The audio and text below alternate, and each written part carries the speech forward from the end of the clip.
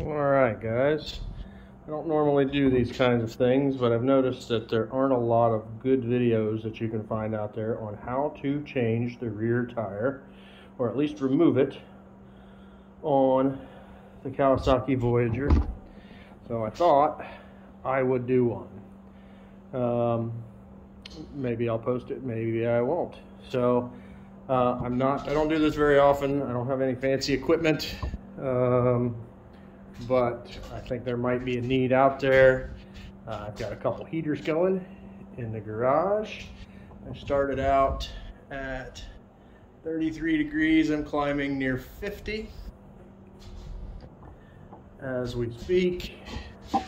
Uh, a little electric heater and the tools that I think I'm going to need today. I got a 10 millimeter socket to get the saddlebags off 17 millimeter socket to get the shock nuts off, a 22 and a 27 millimeter socket for the rear axle, a couple half inch drive ratchets. I really recommend getting a long breaker bar for at least one of those. I keep forgetting to get one after I need it every time I change my rear tire. I don't like to use my torque wrench if I have to, but I may end up doing that. Um, screwdriver, 4 millimeter Allen wrench to take one of the cover uh, bolts off, and a pair of needle nose pliers for the castle nut uh, on the axle. Probably also going to need uh, a rubber mallet and potentially some brass punches.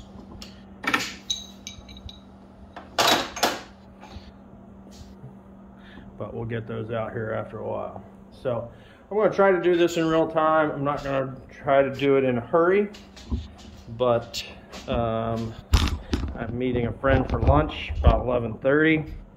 I'm not going to be real fancy with this. I'm just going to walk through the steps, um, and we'll see how this goes and see if it's helpful.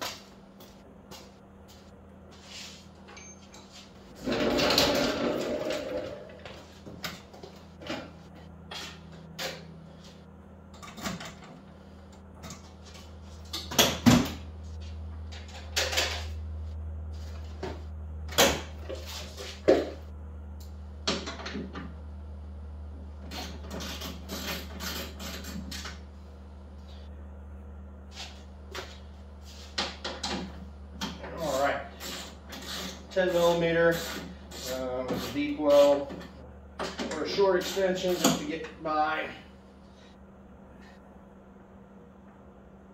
interior hardware.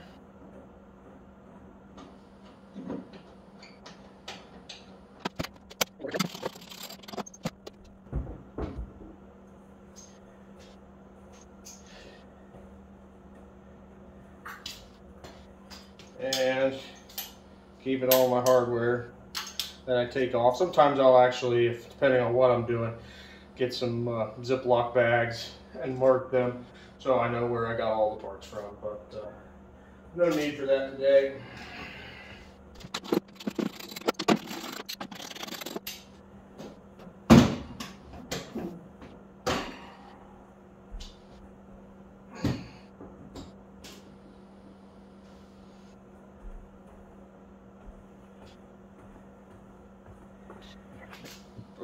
Some other things that I'm going to need today.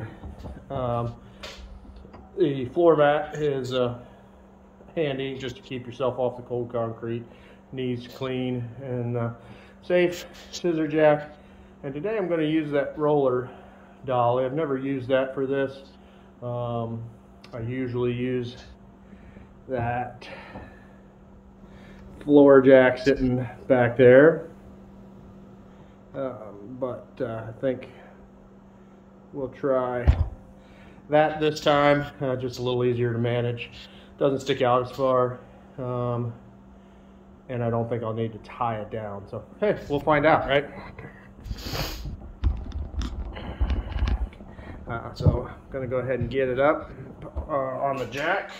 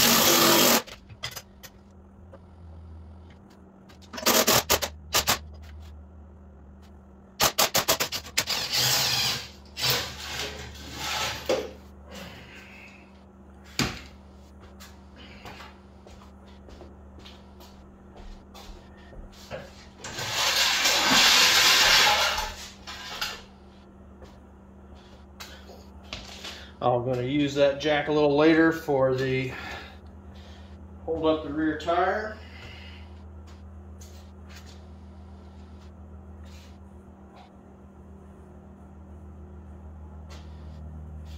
Put some gloves on.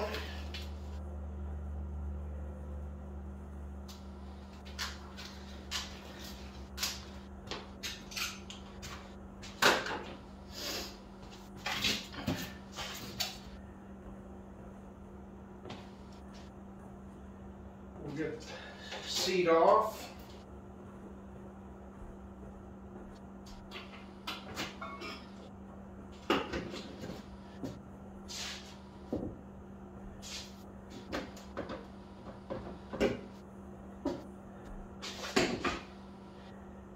And and get this these wheels locked in to the expansion joint. Just to make sure she doesn't roll around on me. Now that we've got that done,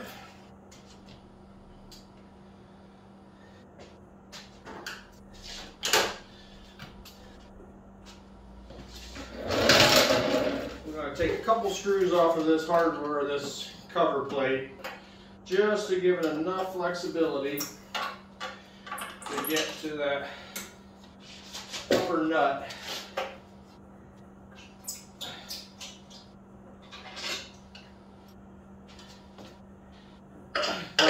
Phillips head screwdriver and a four millimeter Allen.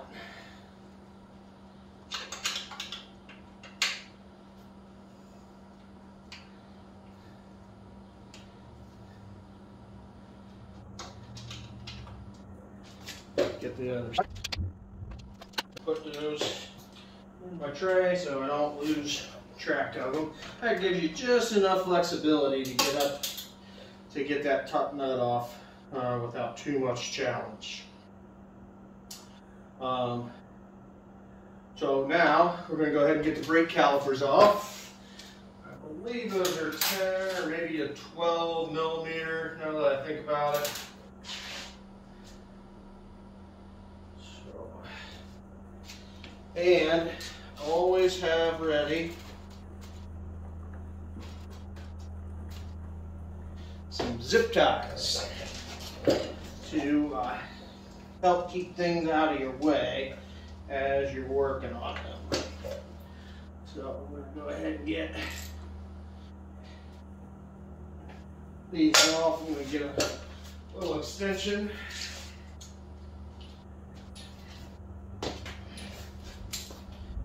So that uh, brake caliper can come off and it is a 12 millimeter. So add that to the list of tools you'll need. And just slide that off.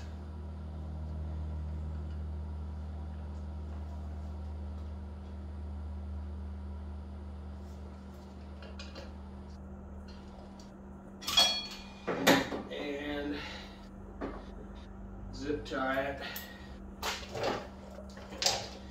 out of your way.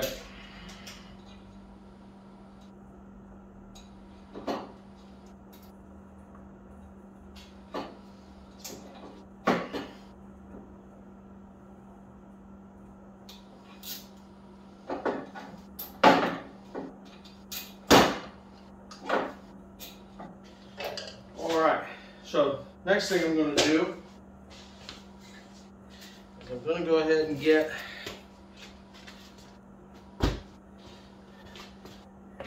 this jack underneath the rear tire.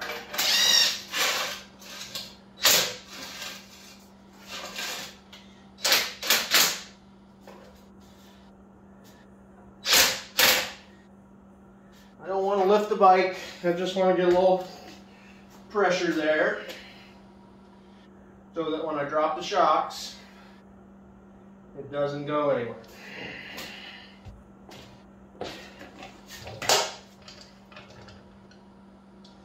I'm going to go ahead and get my 17 millimeter.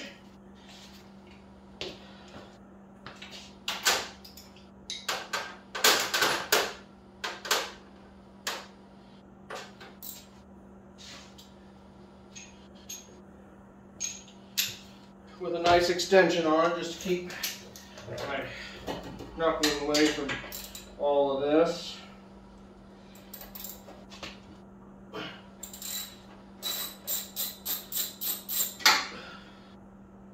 Got a lock washer and a flat washer on here, so make sure you keep hold of both.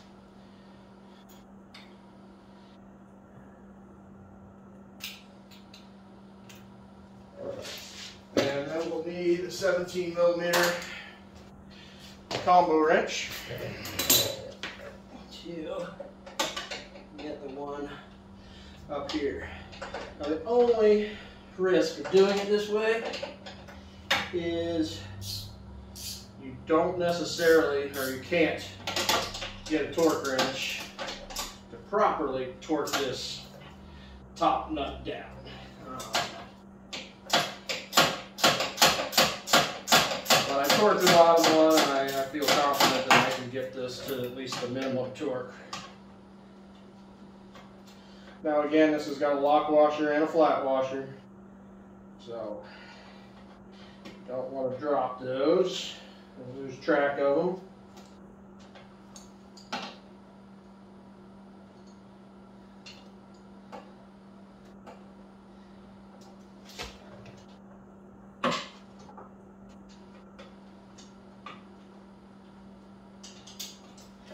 All right.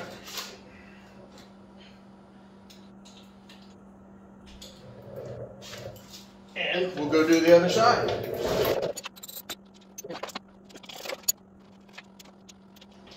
And I actually managed to get all those washers out there without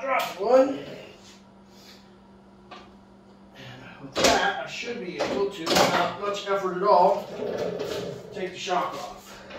Shouldn't matter, but I always leave the left one on the left and the right one on the right. That should come off without much trouble since I've got the back wheel tied up. Now, the one thing that I've learned um, through a lot of aggravation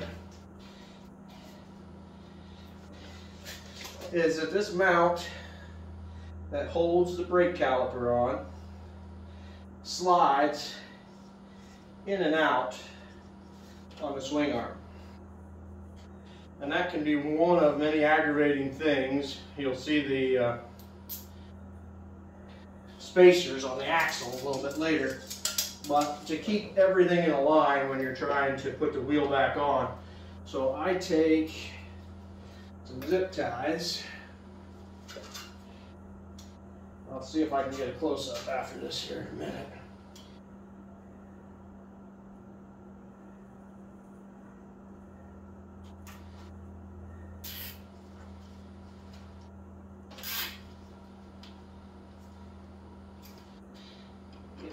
Get nice tug so that can't go anywhere.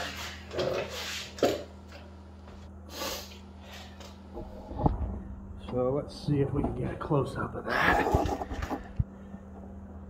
So you can see that mount that holds the brake caliper comes down and actually has uh, a, like a mortise joint in it that slides in and out on the swing arm. So I just take two zip ties and I zip tie that to the swing arm. So when I drop the axle, um, that can't go anywhere.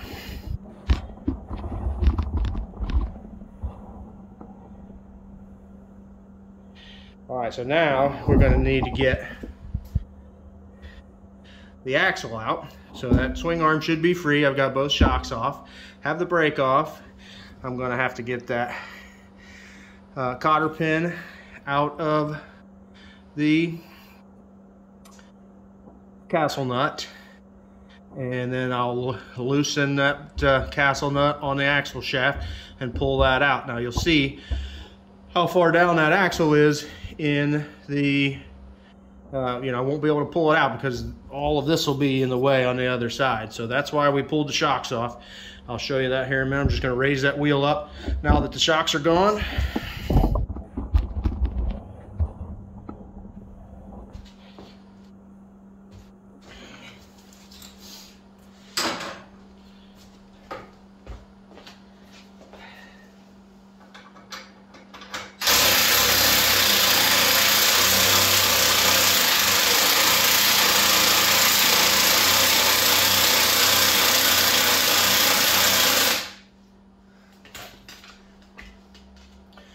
So now the axle's high enough that I can A, access it easier, and B, I'll be able to slide it out the other side.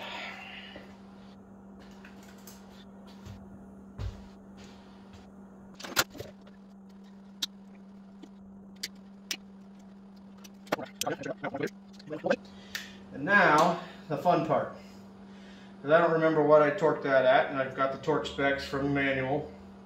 Um, but it is a challenge with two short wrenches to get off. Uh, I believe this is a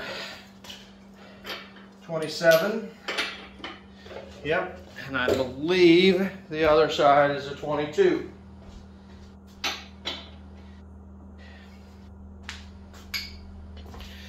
So we're going to get back here. We're going to attempt to break this free.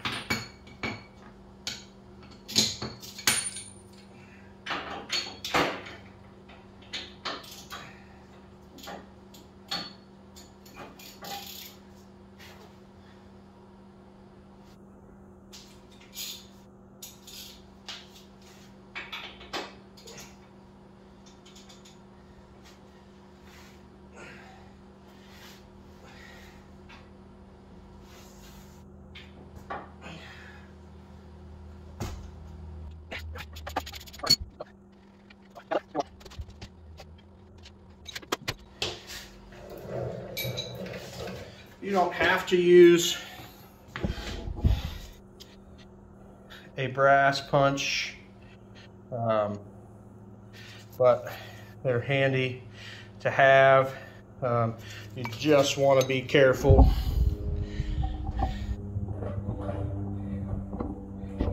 That when you're knocking that shaft out, you don't booger up any of those threads. Um, so.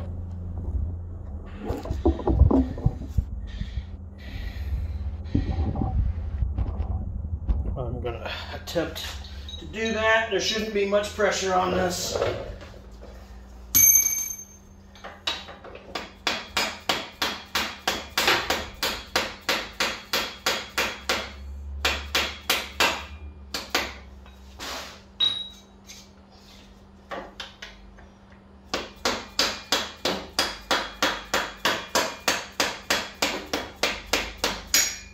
All right, once I kind of see that move a little bit, looks like I'm through.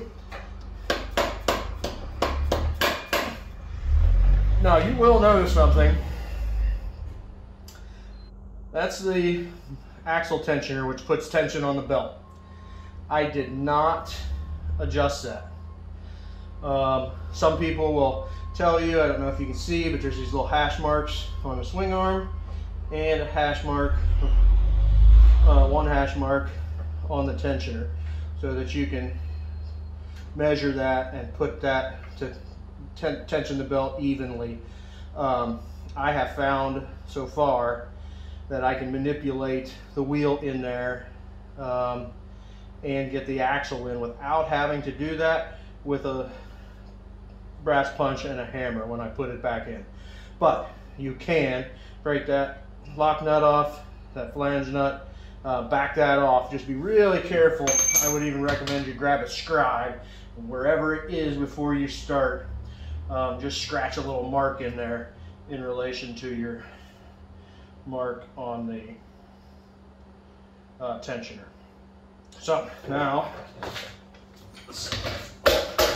all of that there, and we'll come around and pull that axle the rest of the way out.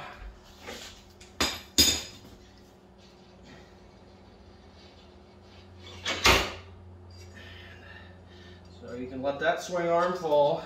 You're going to have a spacer on both sides.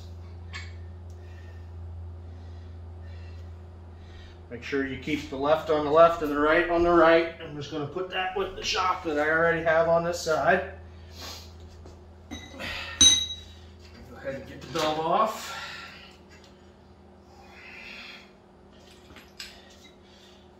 Don't just lay that on the floor. Uh, try to pick a clean space for it or a, uh, at least a block of wood or something like that in your garage. So now my wheel should be completely free. And again, I locked that brake caliper mount on with that zip tie, so it's it stays in the right place. Uh, probably come over here and get that spacer out from this side. It looks different than the other one, uh, so you can't really get them mixed up, um, but always good to keep them out of the dirt you know, I've got dogs, so you don't want to get dog hair all over them. You have to clean them up and got to put some re-grease on them anyway. Get the tools out of the way.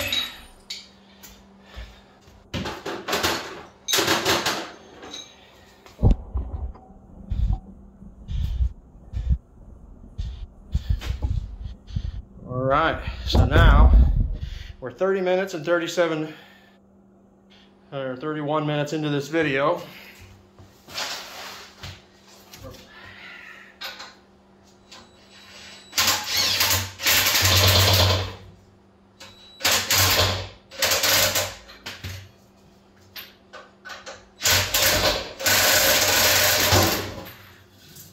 So this is the only tricky part. Going to have to get a little dirty. Um, and it's as challenging getting it back on but I can't go up any higher on my jack because I put it on the roller stand. So I'm going to actually pull the jack out.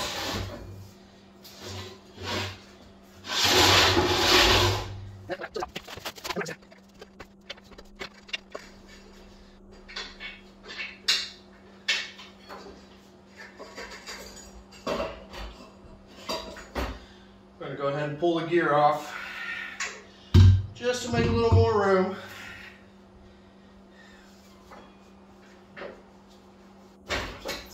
And voila. A little careful on that brake rotor. You want to capture all these dampeners that sit on the flights on your hub. Those interlock in your drive wheel or in your drive pulley. Just make sure you grab all of those so you don't lose them before you take them to have your new tires mounted.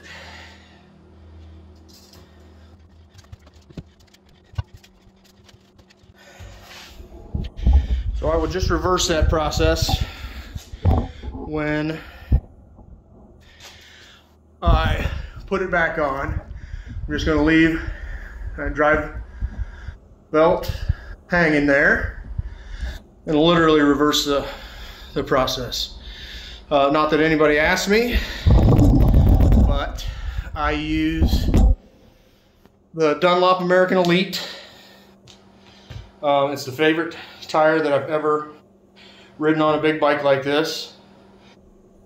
I get about 15,000 miles um, without any challenges at all. as you can see, I'm just getting on the wear bar there. Um, a lot of guys will ride 20,000 miles on them without thinking twice. Um, I put 15,000 miles on it a year. Um, so I find in February or March it's just easier to go ahead and put new tires on so I don't have to do this in the spring during an interrupt good riding season. And that's it. We're 35 minutes into this video from uh, start to finish. Uh, the only thing I did prior to getting started was kind of lay out the tools I knew I was going to need. Uh, so even without uh, a lot of mechanical experience, most most guys could do this if they have the right tools. You know, the jacks, the tools aren't inexpensive, but uh, take this to a dealer uh, to have done and outside of the cost of the tire, you know, two and a, $250, you're going to pay um, probably close to that again. You know, it's going to be a four or five hundred dollar rear tire change over the cost of a um, over the cost of a lifespan of a motorcycle. That's you pay for your tools pretty quickly, and more importantly, you don't give up your bike um, for long periods of time. Um, you know, I get mine at Cycle Gear, not an advertisement, um, but if I buy my tires for there, they do the mountain balance for. I don't think it's free anymore, but it might be 25 bucks. Um, so, um, not for nothing. Um, the American Elites, and I know a lot of guys are fans of the Commander 2s and the Commander 3s, the Michelin um, big bike tires. Uh, they don't actually make the size recommended. I think these are 180 65s. Um, so it's just a few millimeters shorter and a few millimeters wider. Um, but uh, I, I ride pretty aggressive and I've never uh, noticed any challenge from that. And these things stick like glue. Uh, they ride great in the rain. Uh, I just couldn't be couldn't be happier with this tire. But hey, you're tired of listening to me. You wanted to see how to remove the rear wheel from your Voyager. Um, that's how I remove the rear wheel from my Voyager. Uh, even a fat old guy can do it.